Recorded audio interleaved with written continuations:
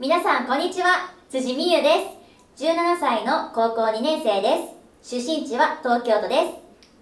私の将来の夢はみんながこう感動するようなそんな女優さんになることです、えー私の性格はポジティブなところです、えーそのポジティブでみんなが笑顔にしたりみんなに元気を与えることがでできます。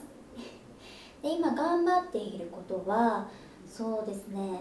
あの朗読を自分なりに頑張って練習したりしています。美声女というのはあの綺麗な声でみんなに感動を与えられるようなそして人の痛みが分かるようなそんな方のことを言うと思います、えー皆さんの応援が私の元気になります。そして私の自信にもなります。そんな皆さんのために私も精一杯頑張ります。よろしくお願いします。